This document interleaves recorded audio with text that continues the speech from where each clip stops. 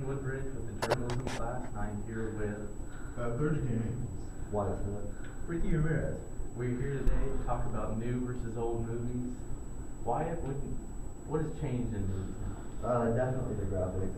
I think the graphics because like now you can add like special animations and effects and stuff, like blowing ships up, and back then you couldn't really do that.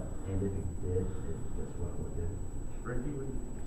Uh, I think the sense of emotion, uh, the of art has gone away now that uh, we're so focused on uh, you know how things look, how things sound. Um, so I think the uh, art appeal has definitely gone away.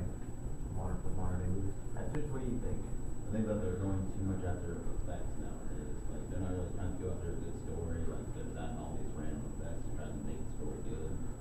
I don't really like it. Do you prefer new versus old movies? Yeah, it depends on the mood I'm in. If I'm in the mood for like something cool or a cool like explosion scene or whatever, I'll watch a, a new modern day movie.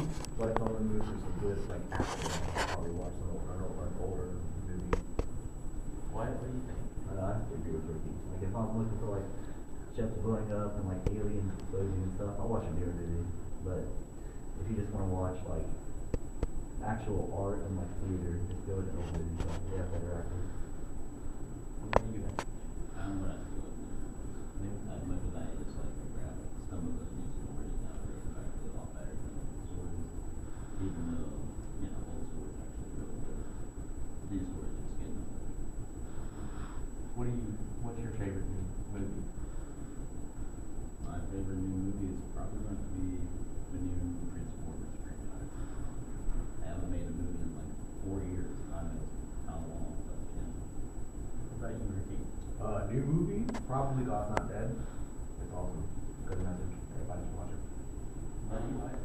Probably the movie Battleship. It had like a crazy amount of like explosions and stuff, and special effects.